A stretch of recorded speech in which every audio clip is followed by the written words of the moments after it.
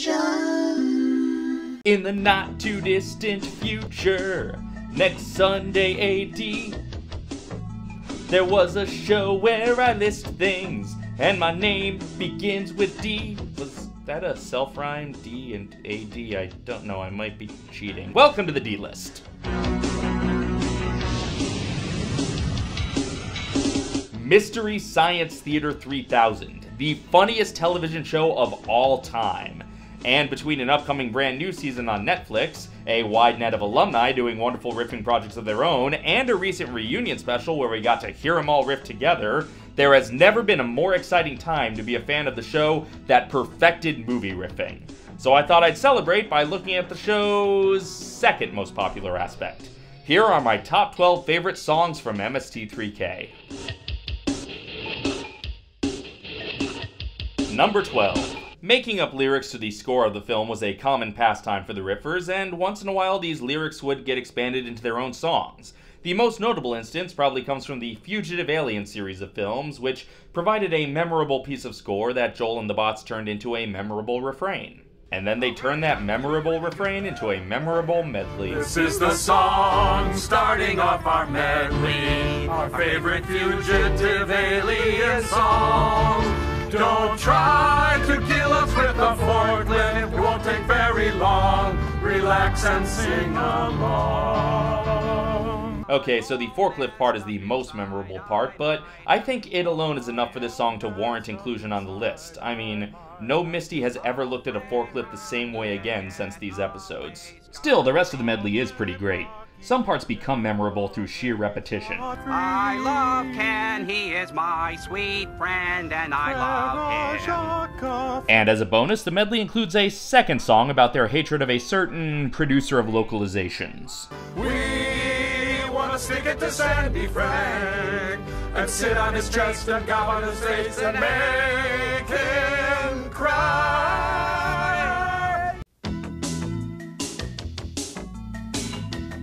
Number 11.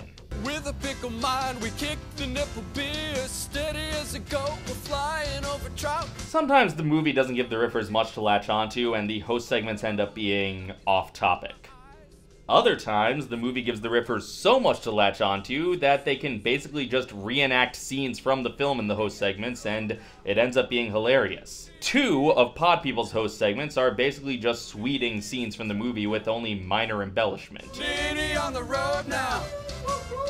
Minnie in control. Wheels on fire. Burning rubber tires. Which brings us to Idiot Control Now, a Mondegreen laden cover of a song from Pod People, performed by Joel and the Bots, that is just so damn catchy. Hit it, go now. Nitty inches bow down. Pity in a poor boy.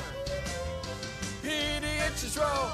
Bees on pie. Burning rubber tires. Honestly, I don't have anything to say about this song that they didn't say themselves. Pretty good. What do you think? It stinks. Number 10. All right. Yeah. Ow. Ow, ow, boogie. Ow. Back in the funky 70s. After sitting through a piece of a re edited Gemini Man episode, which is a subject I might know something about, Servo announces his song about the 70s. Ow, ow, back in the super bad 70s. The Roman Empire still reigns supreme. And yeah, the joke here is obvious, and the punchline to the scene is even more obvious, but it's still effective, and it really showcases their ability to capture any musical style they choose. Do you remember the 50s when Emperor Claudius died? The Apostle Paul traveled to Greece. Uh, Number 9. I was alone with the world to tame. I was evil but feeling blue. So, I'm a sucker for cheesy theme songs, and this ditty with lyrics like a sitcom theme and a presentation like a variety show theme is. Well, it's just perfect. I had a void in the shape of you. Looking for love, hoping for evil. Alls I got was chicken cordon bleu. I would put this song against any theme song written by Alan Thicke. wonder if I can hire the Mads to write a theme for my life. Ruling the world with our heads in a swirl, and it's keen. Living in deep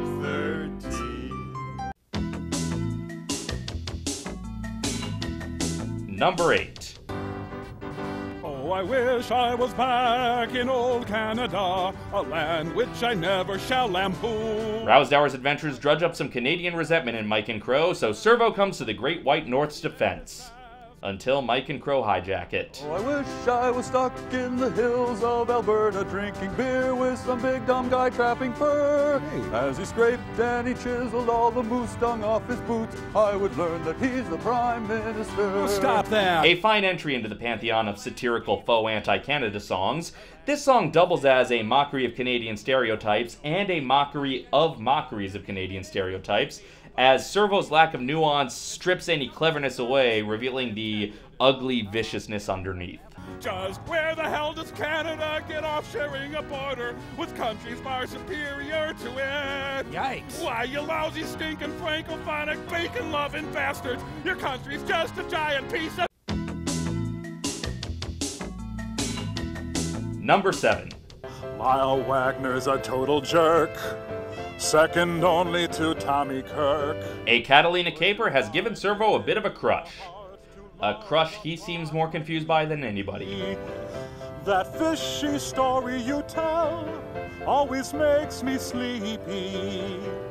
But that's just what I get for dating a girl that's creepy. My And the only way to express a crush like that is with doo wop. And a surprising inability to spell. R is for the gifts you give me every time you smile. The first E is for, uh, well, I don't really know, but the second E is really a grammatical thing, because otherwise it would be creppy girl, and where would that leave us? This song came early enough in the show's run that not everybody had yet taken for granted just how amazing Kevin Murphy's singing voice is. Suck on that, guy who hates Tom Servo's new voice. Won't you be mine? I'll give you scrolls and fish and tinker toys and wine. I'll ditch these guys if you'll be my creepy girl. Number 6. Outlaw of Gor is a sci fi fantasy with elements of sword and sandal, so naturally it contains a lot of skin. And Mike and the Bots pay homage to this fact with a supercalifragilisticexpialidociously catchy tune. It's breastica, bubical, chestica, mammical, pendular, globular, fun. I think it's a fair assumption that most Misties get this song stuck in their head when they encounter gratuitous nudity. Is it gluteal maximal, tuscidal cracula, bunula morning till night? But I think the thing that makes this song work for me is just how much fun they're having with it. How joyous they are, not necessarily about the nudity itself, but just about the celebration. Even Gypsy gets in on it. So for me, this song isn't just a statement about the movie itself, but rather a tribute to how happy they are when they find something to celebrate in these terrible movies they're watching. And they don't always find something to celebrate, so they're grateful when they do.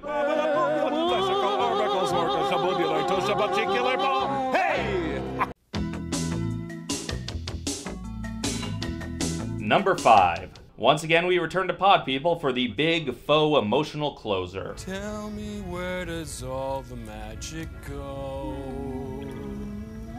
When the curtain falls to end the show, do the clowns always cry when they pack up the paper sky? Joel bids farewell for the episode with the mantra that doesn't make much sense, but he's very passionate about it. The lock is on the old stage door. Will there still be a clown in the sky for me? And despite there not being an iota of seriousness behind the emotion, it still kind of works. It worked so well that the soundtrack albums for the series were named after this song. Tell me where is that clown in the sky for me? I love you, Tom Servo. I love you, Joel. I love you, Crow. You're not my real father. What do you think, sirs?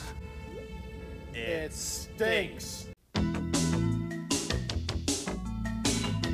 Number 4. Steve's a werewolf, but he's my guy. He's different from the rest, I don't know why. Written by Mary Jo Pehl, this fantastic pastiche of girl groups from the past covers that old standard trope, the dead boyfriend. In this case, the dead boyfriend just happens to be a werewolf. Where, oh, werewolf, I've looked everywhere,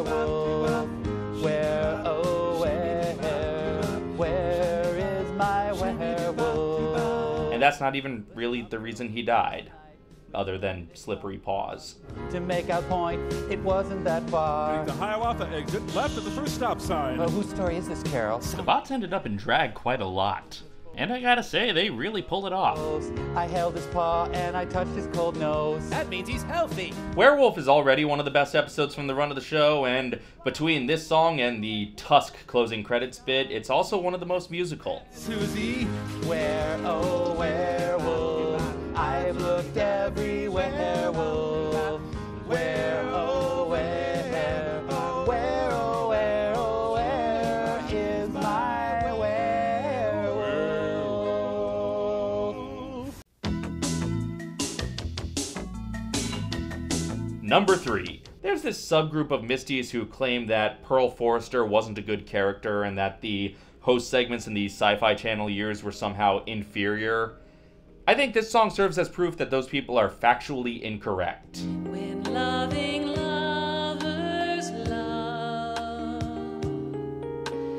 Loving love, Everything about this song is flawless, from the inane repetitive lyrics to the absolutely earnest performance by Mary Jo Pehl. The, the straight look at the camera kills me every time. Love is all we seem to need when we're in loving love. And then Brain Guy comes in and just sends it right over the top. Your heart has wings to fly. And no one else can fly. I really can't say why. I really do like pie. I know a couple guys. I They really do like pie. And loving lovers love as loving lovers love. Number two. Open up your heart and let the Patrick Swayze Christmas in. We'll gather at the roadhouse. Penned by Michael J. Nelson, who just might have a bit of an obsession with Roadhouse, this tender carol is a loving tribute to the Swayziest of holidays, and if you made it this far into the video, this song's probably already a seasonal standard in your house, so you already know how great it is. Let's have a Patrick Swayze Christmas this year. Or we'll tear your throat out and kick you in the ear. Hold it, a Cam, but uh-huh. stop it. And my number one favorite MST3K song, What's Better Than One Kevin Murphy singing? How about a whole chorus of them?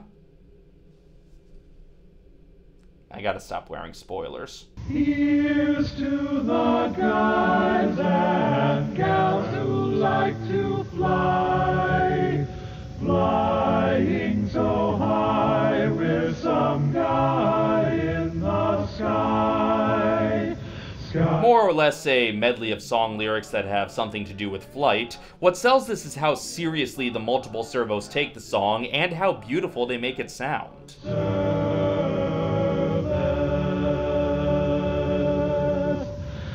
Wouldn't you like to fly in my beautiful balloon?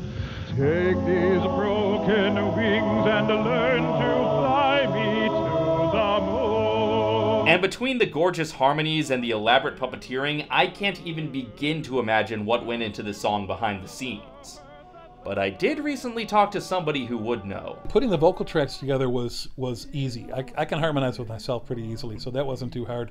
Um, but making poor Jef Maynard and Pat Brantseg and uh, and Beez, I think, making the prop department put together all those servos so that they would perform in sync was a phenomenal task, and uh, and uh, they did a fantastic job of that. I mean, first of all, getting what was it, eight servos all together on stage at once to synchronize with their heads and their little beaks was uh, a phenomenal task, and they, they they pulled it off. It was fantastic. Across the wide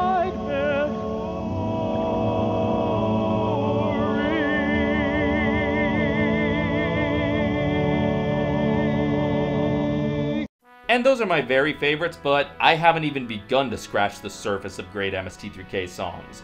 And the new season will likely have even more, with potential guest stars like Jack Black and Neil Patrick Harris, and potential guest writers like comedy musicians extraordinaire Paul and Storm, and youngest EGOT winner and parental earworm initiator Bobby Lopez. There is a lot of comedy music talent being poured into the new season.